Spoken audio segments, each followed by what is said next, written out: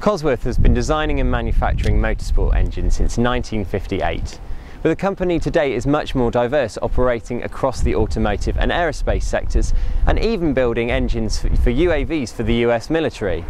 I'm here at Cosworth's headquarters and factory in Northampton to see how this traditional engineering company has become something of an international powerhouse. This is what Cosworth is most famous for, building engines for Formula One and other racing and sports cars. But its strategy in the last few years has taken the company into new fields, helping it increase its profit to almost £5 million in 2010. And one of its more interesting deviations is a world away from the racetrack.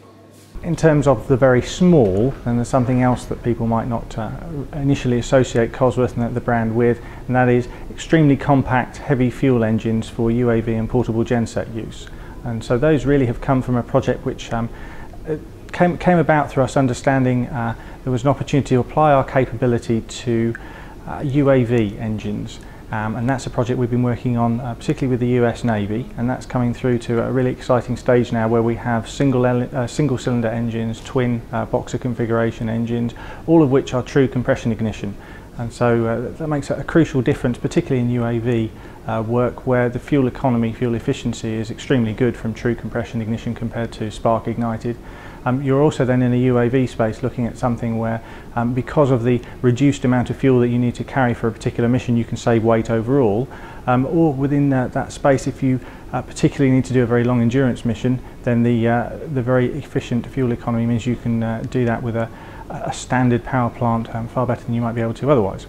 Diesel engines use the heat generated by compressing air to ignite their fuel, but when you're dealing with UAV-sized engines, they typically don't provide enough force for ignition and need an additional spark. That's where Cosworth's engines come in. All of these are derived from uh, patented technology in terms of the combustion chamber uh, for these engines, and that's patent that we own. Uh, it's made a big difference, as I say, in getting true compression ignition to work on an engine of this scale and that has been one of the biggest challenges I think to the industry as a whole. Glow ignite, yes, glow plugs and, and spark ignited um, are relatively, and I take this with a big pinch of salt, but they are relatively straightforward compared to true compression ignition at this scale. But if you want that fuel economy, you have to push for the, the true compression ignition. And at the moment, we are the only business on, that has a, a product on the market that uses that. Everything else is spark. So how do you get to UAVs from motorsport engines? very much the area of crossover is the capability that Cosworth has as an engineering business. That we can move from the research and development, prototyping, manufacture and low volume production right the way through that process on the one site in Northampton. Um, that really is, is a benefit that is applicable to customers in the aerospace industry, uh, the automotive and the, sport, the racing sports car industry.